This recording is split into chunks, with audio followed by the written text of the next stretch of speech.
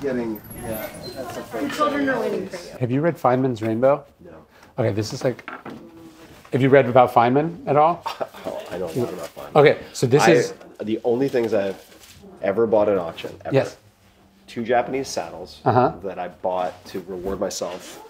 I For the said that TV would be my reward when I finished the four hour. No, when I finished the Oh. four hour body, and I think when it if it hit number one, it was like ten grand. Yeah. The other auction, the only other time that I've really bought things, I bought uh, some of the placemats that he sketched on at the strip Wow. clubs. Yeah, yeah, where he would Draws. ju- Some he would his draw. original Feynman diagrams, and I have his tambourine. So yes, I am a huge Feynman. Okay, so Aficionado. Leonard uh, Mlodinow, he wrote The Drunkard's Walk, Huh? right? Yeah, I recognize the name. But so he was a PhD student or assistant professor, whatever. He gets a job as a physics, uh, whatever. He's, he's learning physics at Caltech, and his office is next to Feynman as Feynman is getting old and dealing with cancer. But it's like, I think it's the best biography of Feynman. It's small, and it's just about their experience. So it's basically just like kind of his conversations with him and Feynman. I amazing. loved it. It's Oh, so cool. good. All right, all right. You read a lot of books. So if you Eh, say you I, loved it, I, I loved this is it. also appetizingly small. That's what that like the the Feynman biography the I tried to read. Can't seem to write any book less than Well, they, 600 pages. there's a book called Genius. It's a biography of Feynman, but it's like huge, and it, it was okay, but like it wasn't me. Oh yeah, we're doing a Christmas party this? in a little bit. Uh, that is Gordo, right? That's Gordo. Gordo, Junior's the black one. Gordo, these cat, are yeah. cats from Cerro Gordo. Um, these are these are ghost town cats. I grew up with four cats and two dogs. That was a lot. They're- a lot, a lot of allergies. Yes, they uh, they rule the bookstore. Oh, uh, have you seen Pressfield's new book? I don't know if we have it. The Daily Pressfield. Oh wow! Look at this. Oh, you know what? Did he send you one? he didn't send me one of these. All right, well, take that one. Thank you. Uh, this is cool. I could spend all day just looking I know. at the books. This is where I sometimes get myself into trouble. Well, this is all your fault, as I said. Oh wow. All right, those, those are my two. Yeah, yeah. The, the Daily Pressfield one's great. And then I think the Feynman one's really good. Fine books. Oh, yeah, will you sign these for us? Oh yeah. Oh, I was looking at that too. Oh. Yeah, yeah for sure. Happy to sign. I haven't signed books in a long time. Oh, really? Yeah, yeah, yeah. Fun. Y- We have a lot. Yeah. That's the other thing I've been talking about, where it's like there's this sense that the Stoics were like depressing or dour or whatever. Like that that the people in the ancient world. Oh, I see you guys have put this to the right page. All right. I, um, these will be these will be signed on slightly different pages. Oh, that's totally fine. But that that like that they that get, getting up and living was an intense act of hope and optimism if you think about it. Yeah, it's like life. Life at that point, like the worst thing you faced was not a microaggression on Twitter. yes. Yeah, it was it was devastating, tragic, brutal awfulness. Like, oh, my third kid died, and I've just been exiled. Awesome. Yeah, right. One of the Stoics, Musonius Rufus, who's Epictetus' teacher, he was exiled four times. Like, imagine you just have to lose everything and start over four times. You're like, not again. Yeah. oh no. Although I, I, I wrote about this, like, so, you know, Seneca's exile is like this formative moment in his life. It's like this horrible thing that happens to him, right? Do you know where Seneca was exiled? Corsica. Corsica, yeah. My sister just went there on vacation. Yeah. Like it, he he presents it as this like uh, you know like awful place, and I guess it is awful if that's how you look at it. But it's like it was also amazing. like so, it's all. I guess it really is all in how you see it. Yeah. It's not exactly Siberia. like Napoleon is from Corsica, and like the last thing he wants to do before he's before he is exiled is see the place that Seneca was exiled to. It's funny. You read, um, I think we're out of it. Shit, I would have given it to you. There's this book, uh, The Son, by this guy, Philipp Meyer. The sun. The Son, like S O N. It's a Pierce Brosnan show on uh, Showtime also, but it's like maybe the best novel about Texas I think Oh. I've read. It's like, well, I guess there's Lonesome Dove, which is the, the undisputed pretty one. good. Yeah. So th- this is, uh, I, I won't compare the two, but it's like it's crazy good novel about it. I'm going with him uh, on Saturday. I'm excited about it. Oh but wow. um, it's the same thing. Like if you like, you know, then if you don't eat it all, you just feel like, even though you we waste food all the time, if you killed it, you feel like deliver. extra Yeah, responsible. you feel super responsible. Totally. Even though you did kill, the, like they killed the cow for you, but you don't think about it that way. Although I, I actually, and this is not always net positive. Uh, I feel very badly about food, food waste. Yeah, of course. Kind of weird about it, um, or maybe weird by modern standards, I guess.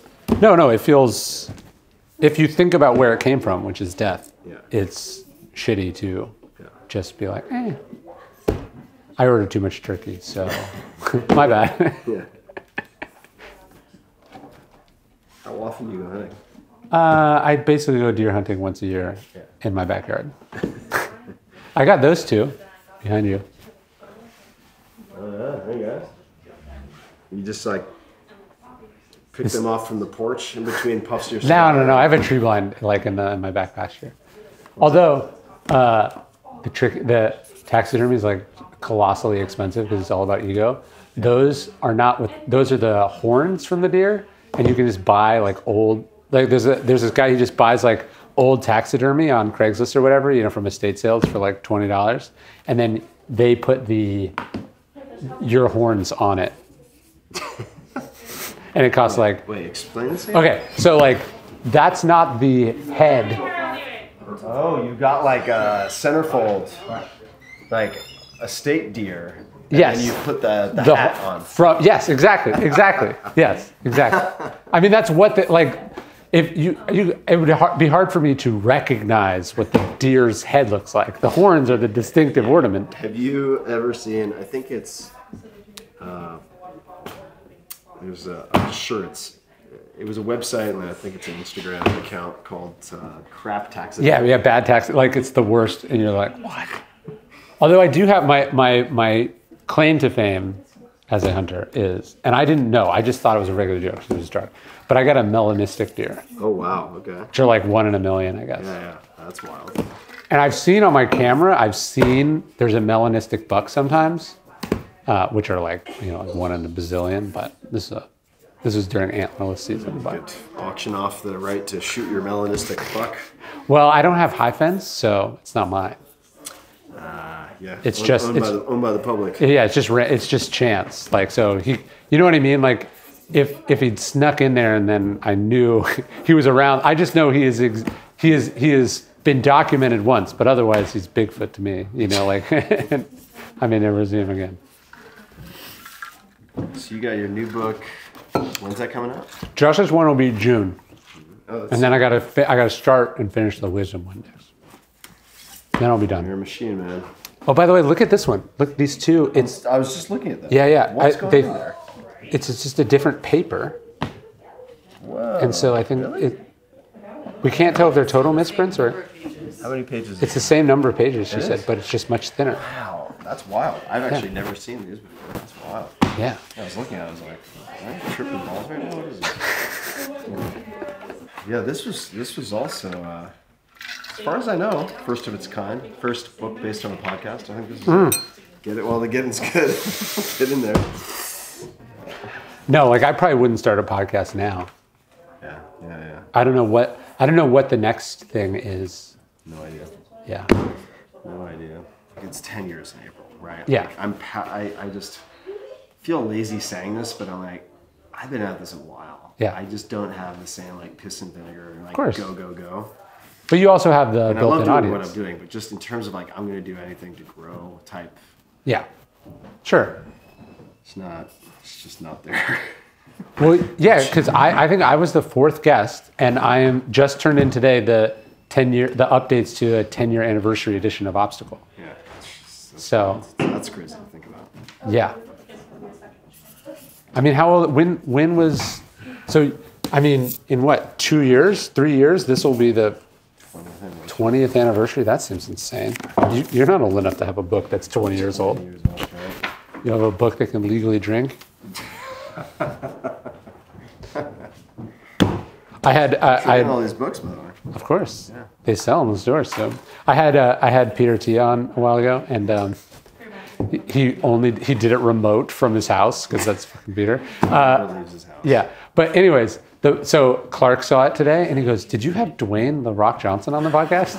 like he said it like that. He said Dwayne the Rock Johnson. like I was like, first off, no, but second, like I don't think he realizes that that's a nickname, and you could pick one or the other. Like Yeah, he's putting it in the middle. Yeah, Like a Dwayne the Rock. Johnson. Carlo, the Gambino Biagatti. yeah, exactly. Dwayne the Rock Johnson. I read a lot. It's sort of my job. You can't write without reading. For almost 15 years now, once a month, I send out an email with my favorite book recommendations for that month. Books that I've been reading, books that I've been going through, books that changed my life, that inspired me, that I think connect to what's happening in the world. And you can sign up right now at ryanholiday.net slash reading list.